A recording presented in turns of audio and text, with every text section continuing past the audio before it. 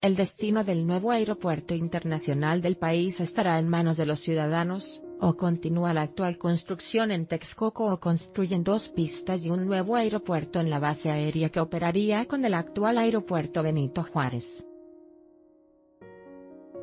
El presidente electo, Andrés Manuel López Obrador llamó al pueblo de México a resolver este asunto complicado que su administración heredó pero que tienen que enfrentar de la mejor manera posible. Este es el proceso que emprenderán, mismo que culmina en octubre con la consulta ciudadana. 1.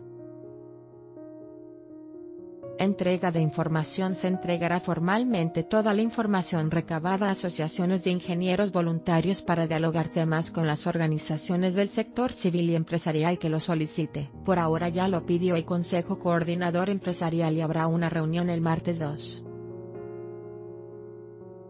Análisis a fondo El 20 de agosto este lunes el equipo de análisis de López Obrador informará con mayor detalle y a través de los medios sobre las dos opciones ya mencionadas 3. Coordinación para difundir las propuestas La comisión dictaminadora hablará con los medios para solicitar su colaboración para tener espacios y tiempos para difundir opiniones y propuestas de la consulta ciudadana 4.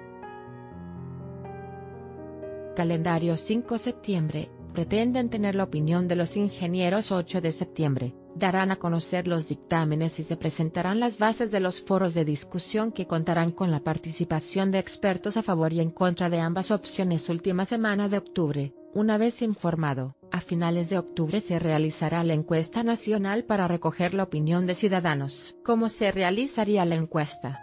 Según las palabras del presidente electo, para decidir sobre el futuro del nuevo aeropuerto habrá una consulta directa o encuesta.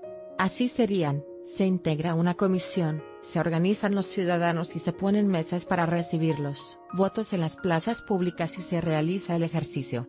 Otra, es en encuesta nacional con vigilancia ciudadana para que no quede ninguna duda ni sospecha lo que diga la mayoría es lo que se llevará a la práctica, culminó López Obrador.